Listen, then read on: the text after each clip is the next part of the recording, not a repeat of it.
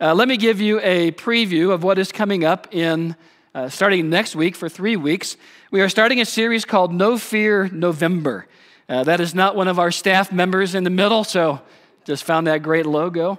But as we head towards the holidays, uh, as we head towards Thanksgiving and Christmas, uh, we head towards a time of year when anxieties increase, stress level increases, debt levels increase, all kinds of things increase as we get closer to the holidays.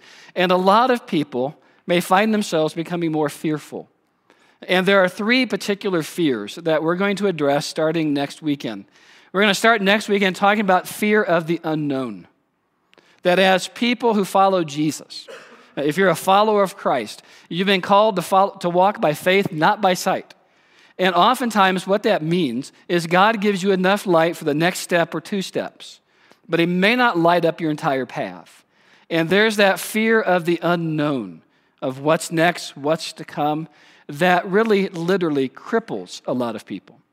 And then we're going to talk in week two about fear of rejection. About many people live their lives afraid that their mom and dad will reject them, their husband or wife will reject them, or even worse, that God will reject them. And then on week three, we're going to kind of take a different spin and we're going to talk about the fear of God. But not the fear of God in the sense of walking around on eggshells, you know, just waiting for that moment when God's going to throw the lightning bolt and just end it all because he's displeased with you.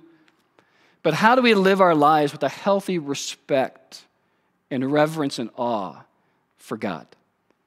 The positive fear of God. And so this is a great invite series, a great chance to invite a friend, a neighbor, a coworker, somebody that you know perhaps struggles with one of these fears.